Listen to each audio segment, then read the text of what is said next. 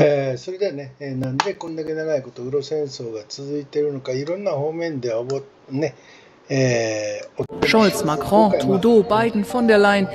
G7 ですよね、G7 のこのもうバイデンね、えー、今映ってたトルド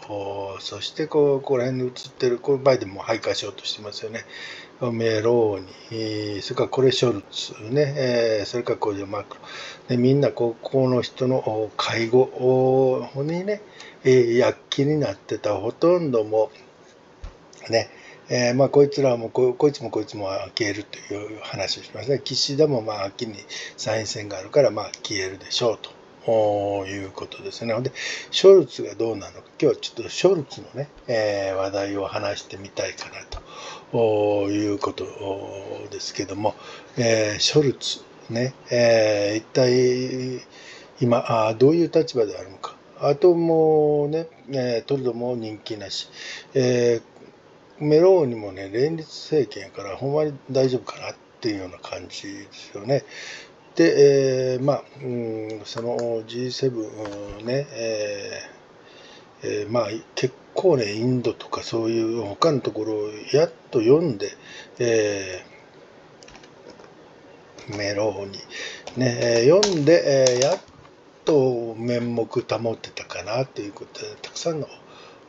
人を読んでたと。いうことですよね。えー、このアルアルゼンチンの何でしたっけこいつはあミレイミレイミレイとかね読んだよねこれも。で、えー、今日それから神父さんですよねそう今日、えー、ローマ法王も読んでたあね、えー、そしてモディも読んでたんですよね。えー、モディも読んでたまあまあいろんなところをね読んでたということになりますけど、やっとそれで面目と出た、うんね、えー、ところですよね。えー、ね、まあこ、んだけたくさんのところをやって、やっと面目となったと。で、ね、えー、スナックと、うん、マクロンはもう消えるという話をしましたけど、今日はね、ショルツ、ショルツももう消えるんじゃないかと。ね、で、欧州議会選挙、この EU の選挙ですよね、えー、フォンデアライエンが、えー、選挙ではね、がが選ばれてない議長やけど、議長として役割を果たしている EU、うん、その EU の欧州議会で連立与党があ大敗北、大敗をしたと、ドイツではね。えー、そして、えー、これ見ると、ここですよね、まあ、これ EU 議会の選挙ですけども、えー、中道右派のキリスト教、ねえー、キリスト教民主党これは、えー、っと、メルケルの言ってた党ですよね。えー、ここがまあ前回と変わらず、えー、そしてね、えー、極右政党、ドイツのための選択 AFD、ここがね、躍進した。ここが今、極右、極右と言われてるところですよね。意味や敗訴というような感じでね、えー、ここが最で、えー、ショルツ率いる中道左派ですよね、左派。えー、SPD と、うん、それから、えー、この緑の党、これが大現象。これはその環境細工と言われるような感じで SDGs かなあを押してるということで、まあ、それがね、もう環境ビジネスにつながってるんじゃないか、ほんまにそこまで地球は温暖化するんじゃないかと、もう会議の目で見られてる、ね。えー、環境ビジネス政党、そこは大敗したと。そして、えー、リベラル政党、ここはまああんまり、ね、えー力はないこの3党が、えーねえー、連立してたんですよね、えー、連立してたんですけどもその3党連立ね、えこここいつこいつがベアボックかな、えこいつロシアのね、えー戦えー、ウクライナの戦争継続っていうの、え、結構声高々にね声高に叫んでるやつ。そしてショルツ、ノルドストリームも破壊されてもバイデンに、えー、これしてるやつ。これ共同代表みたいですね。えー、それから自由と民主党、ね、自由民主党。これが3党連立してたんですよね。えー、だからまあ、左派連合ですよね。うん、で、ドイツのその左派連合が、まあ、メルケル率いる、ね、キリスト教の中道右派、えそれから極右の AFD なんかに、まあ、今回の欧州議会選挙では大負けした。あやけどもここ左派連合でこの時っていうか、まあ、この議会イギリスドイツの議会って2021年の9月なんで任期が4年やから2223242525年の9月あと1年、えー、あるんでこの議会構成は欧州議会やないから変われへんですね。で今どこが連立してるかとこここれえー、っとこれ左派連合ショルツ率いる第一党、えー、それからこの緑の党ここ、えー、それからあこの FDP、えー、リベラルの自由民主党かな民主党と。この3つこの3つの連立が206と111、えー、これで300 324 324の、えー、90に足すということは416かな、まあ後でもう一回計算して、えー、これで議会を足すね、えー、牛耳って。うんで、えー、ショルツ首相が首相になったんやけどもこれが欧州議会で、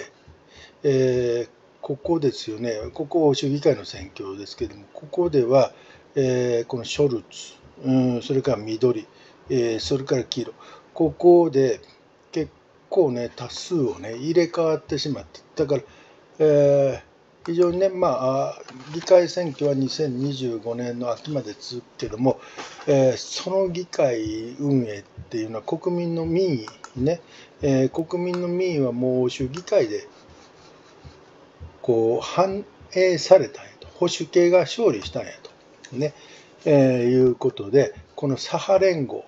この左派連合早く、うん、退陣してくれとこいつとこいつとこいつがというのが国民の声やから2025年のう来年の選挙まで持つかどうか、ねえー、分からへんと。ね、極右が躍進したって書いてるけど、まあ、右派連合が、えー、勝って、え、左派連合が負けたというふうな感じの方が正解かも分からへんですよね。えー、だからそういう感じで、えー、ね、中間選挙っていうか、まあ、ドイツの国民の民意を図る、ねえー、欧州議会選挙があって、えー、それが、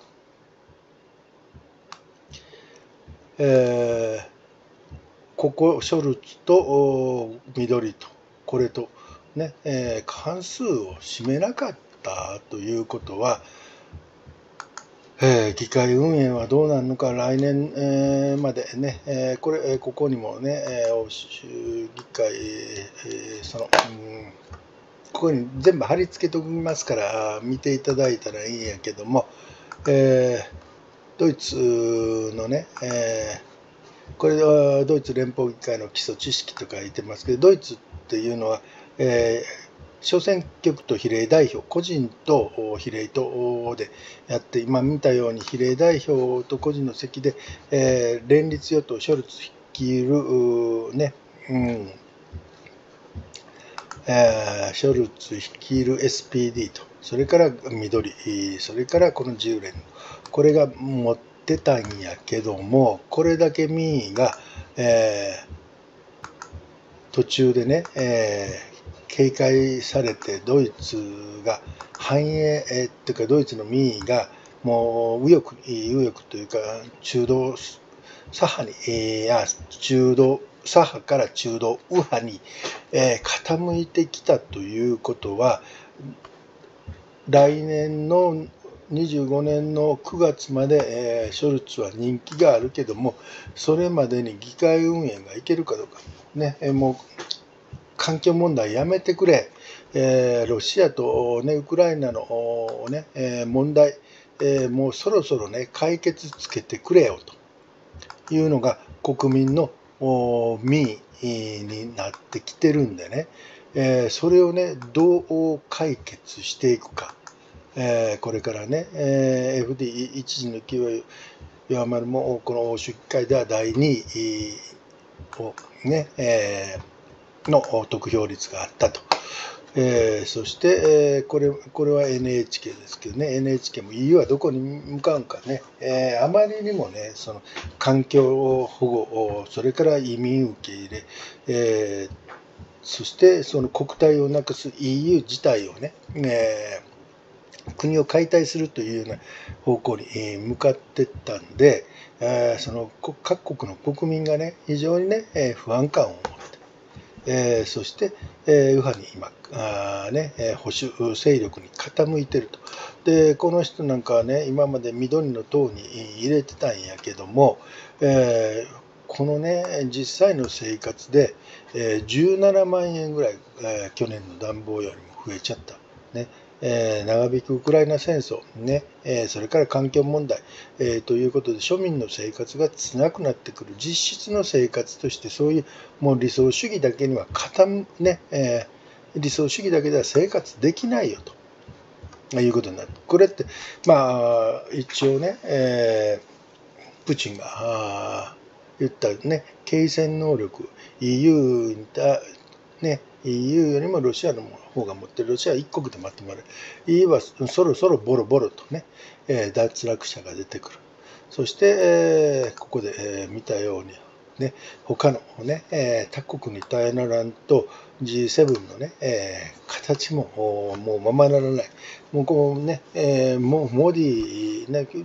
ロシアに対して中立な態度をとっているモディなんかにね、えー、媚びを売ってるメローニですよね。で、この媚びを売ってるメローニのモディに対して日本はね、えー、今回、バイデン、アメリカに追従して、インドに経済制裁をやろうとしてるんですよね。えー、どこまで、えー、アメリカに追従せなあかんの、日本と、えー、いうような形で、ちょっと岸田、お前、いろんなね、世界の情勢を見て、ええ加減にせよと、国民はね、えー、ここですわ。ね、えーやっぱり国体を維持せなあかんね、えー、それから自分たちの国、愛国心、あるいはね、えー、国を守るという宗教、そういうものにね、うん信仰心なんかに、えー、回帰してきた、この揺り戻しを分かってない、えー、ね、えー、為政者たちが G7 で集まって、